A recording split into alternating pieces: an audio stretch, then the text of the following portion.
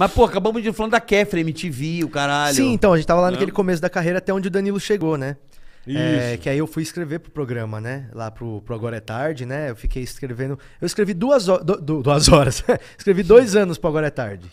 É, e A aí- gente tava lá na época que você tava ou não?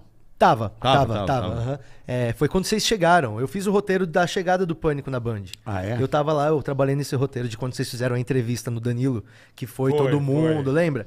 Eu tava, eu tava lá, que teve. Ó, o Pânico veio pra Band. Aí vocês foram no Danilo, foi legal pra caramba. Que legal, E aí depois de trabalhar lá no roteiro, o Zé Luiz, do 89, Zé Luiz. Sei, ele, o Zé. ele, ele me chamou pra apresentar um programa com ele lá na Rede TV, que era o Morning Show. Que tá vivo até hoje na Jovem Pan. É, não, já existia, o Morning Show já existia na Jovem Pan e era o Zé Luiz que apresentava.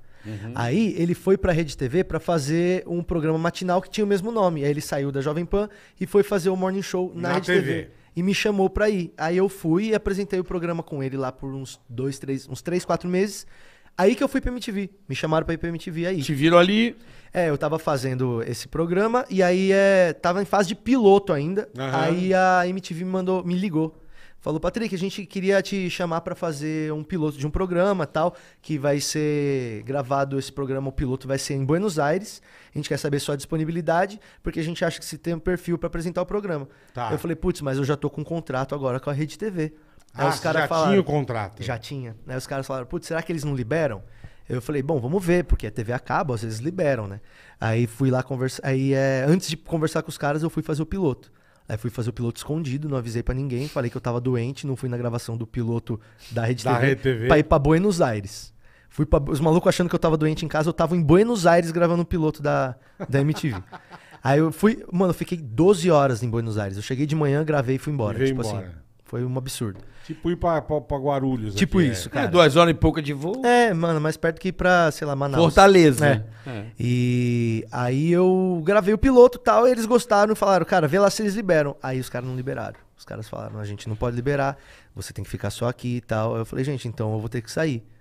Então eu vou sair. E os caras falaram, tem contrato, você não pode quebrar o contrato. Eu falei, tá, se eu quebrar o contrato, quanto que eu tenho que que pagar? acontece, é. Aí os caras falaram, 50 pau. Aí eu falei, então é, eu tenho que te dar 50 mil pra eu sair daqui? Ele falou, é. Eu falei, tá bom.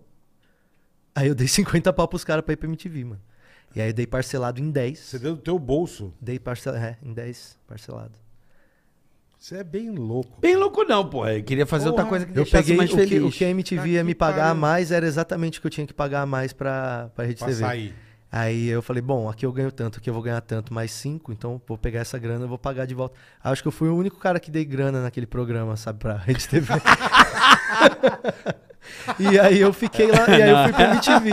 Caralho, aí, mano, mas velho. foi, foi, tipo assim, foi, acho que foi a primeira loucura que eu quis bancar, assim, Pô, da mas minha não vida. Negociou essa. mesmo a tentamos, saída? Tentamos, tentamos, não deu, não deu, não deu. Os caras ficaram mordidos, falaram, a gente não quer que você saia, a gente não quer que você saia. Caralho. Aí no final eu consegui sair, fiquei bem de boa com o elenco, com parte da produção, saí Claro, numa você boa. tá só pagando, pô. É, sou amigo do Zé até hoje, né? O Zé Luiz é meu amigão até hoje. Mas é, fui pra MTV nessa aposta aí, velho. Nessa aposta de tipo, mano, vamos lá pra fazer Mas o quanto programa. tempo você ficou lá na, na com, a, MTV? com a Kéfera? Eu fiquei um ano na MTV. É, começou com o Fiuk, né? O Fiuk, que inclusive não tava no piloto, né? O Fiuk que não tava rompeu no o contrato piloto. pra fazer o Big Brother. Isso, né? foi Não, isso foi mesmo. muito. Não? depois. Ia fazer uma novela, é. Mas é, quando eu fiz esse piloto lá em Buenos Aires, não tava cotado é, o Fiuk, era eu só. Fui aprovado o programa comigo só. Aí eu fui lá, fiz toda essa treta, assumi a multa, quebrei o contrato, assinei o contrato.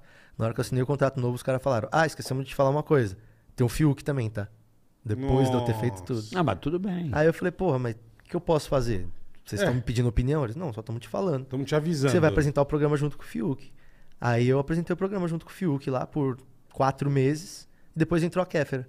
Fiquei mais oito meses. E aí veio quem? Veio você.